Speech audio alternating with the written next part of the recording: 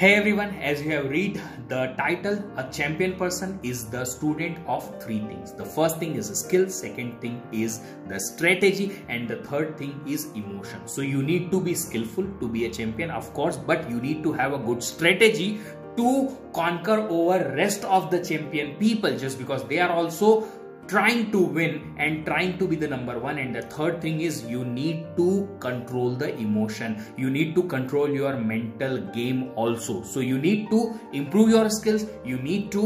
prepare a good strategy and the third thing you need to have a good control your emotion if you can conquer all these three things and if you can learn from these three things then definitely you can be a champion so be a student of these things keep improving all these three things and definitely you can be a champion one day i know you can